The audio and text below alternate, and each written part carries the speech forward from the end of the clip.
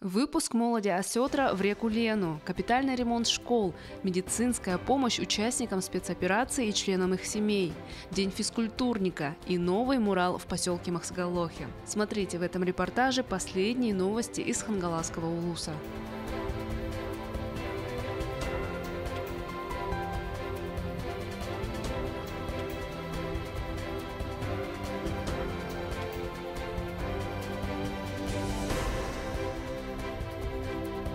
Начале августа в реку Лену выпустили более 162 тысяч молоди сибирского осетра. Зарыбление прошло под селом Улаханан в целях компенсации ущерба, наносимого водным биологическим ресурсам и среде их обитания.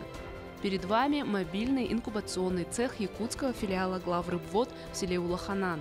Этот цех работает с 2021 года. Здесь стоят специальные бассейны, в которых разводят мальков рыб, в данном случае осетра. Их выращивают до месячного возраста, прежде чем выпустить в водоем. Средний вес мальков при этом от 1 до 2 грамм максимум.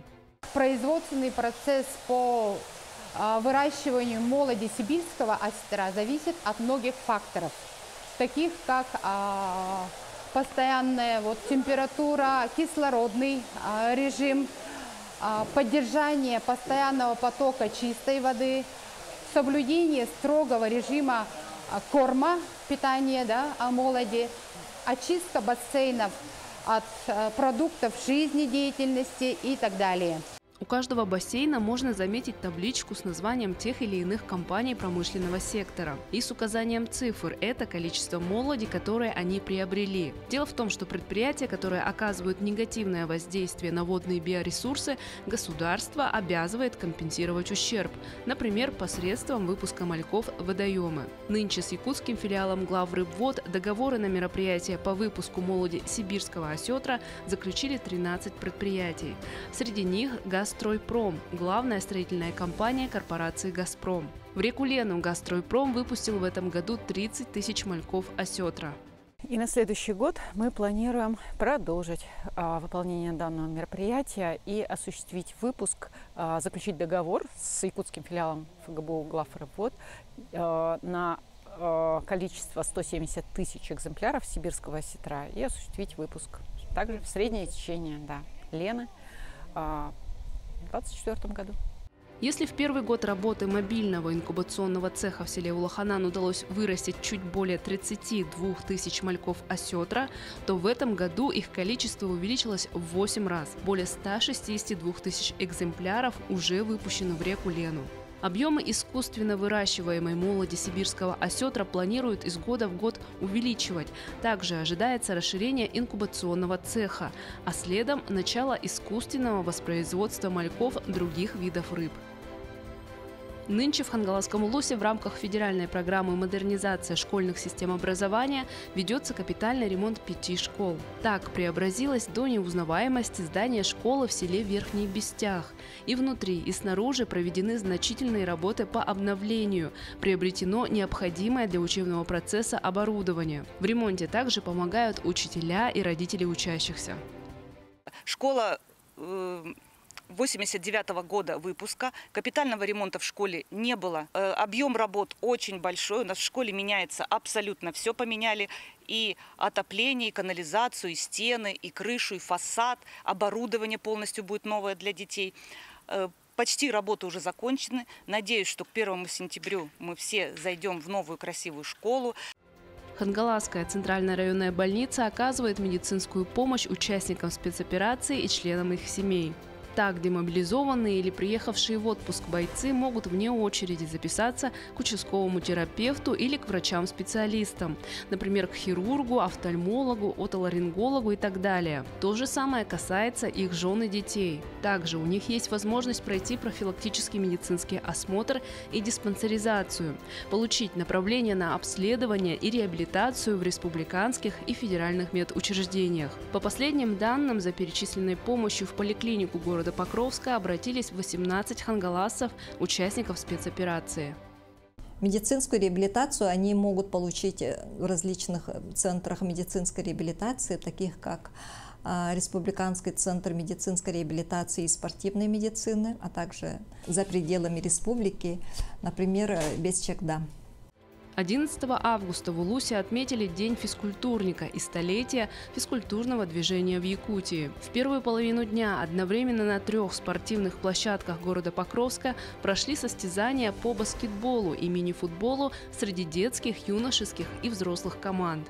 После обеда в администрации района состоялось торжественное чествование активистов физкультурного движения, где отметили не только учителей физической культуры и тренеров, но и ветеранов силовых структур и боевых действий, а также участников специальной военной операции. Почетным гостем мероприятия стал герой России Александр Колесов.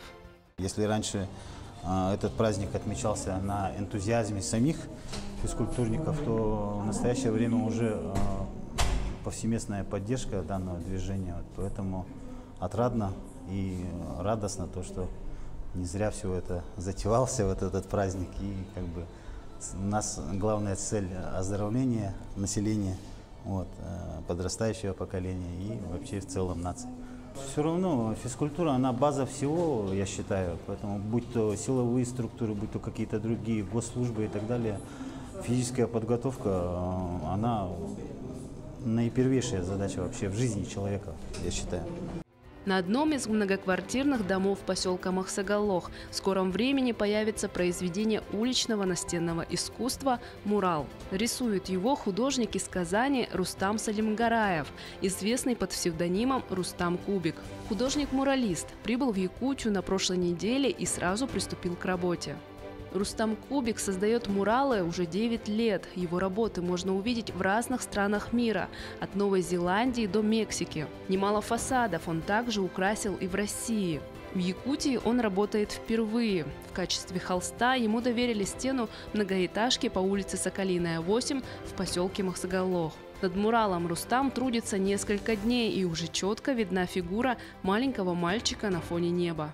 По задумке здесь как бы мальчик лепит вот из песка, как бы на берегу а, реки, лепит из песка городок, который вот в отражении уже, а, скажем, переходит в реалистичный а, сам поселок Махсоголов. Эскиз мурала одобряли совместно Центр компетенций «Лето» и администрация поселка в рамках ежегодного фестиваля современного искусства «Лето Якутия». В этом году у нас был а, сбор заявок Open Call, который мы провели в начале июня. И вот по поступившим заявкам мы выбрали несколько художников, которые у нас рисовали, а, взяли объекты на Махсо, в Махсоголохе и в Тиксе. В Тиксе мы закончили уже работу буквально на прошлой неделе. Ездили туда, у нас масса впечатлений по этому объекту. Площадь мурала в Махсоголохе 255 квадратных метров. При этом Рустам трудится один, без помощников. Разве что перед его приездом местное градообразующее предприятие «Якутцемент» провело подготовительные работы, очистило стену от пыли, грязи и старой краски. Стоит отметить, что процесс создания мурала сопровождают такие явления, как задымленность из-за лесных пожаров и сезонные летающие насекомые. Самый сюрприз от насекомых, конечно, но есть э, средства от этого всего, поэтому в целом никаких проблем нет. А, работает хорошо, условия хорошие, мне все нравится. Мурал Махсагалохи отлично виден со стороны нового общественного пространства поселка сквера первостроителей, где любят проводить время местные жители от мала до велика. Можно сказать, что Мурал – это продолжение сквера. Поселок строится, поселок преображается. Вот сейчас там рисует на, дом, на доме красиво. Э, конечно, хотелось бы, чтобы все дома пообновили, но не в силах, наверное, это. Ну, поселок смотрится хорошо.